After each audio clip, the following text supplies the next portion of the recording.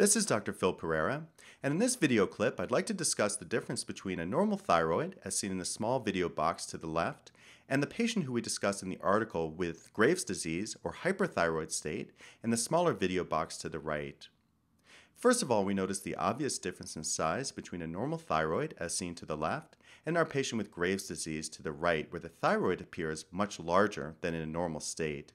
Here we have the probe oriented in a short axis or lateral orientation, and we have the marker dot oriented lateral. Next, let's look at the obvious flow difference between the two thyroids. Here we're using color power Doppler, documenting the amplitude of flow within the organ. Very fast flow with color power Doppler will be more yellow, and slower flow will be more orange.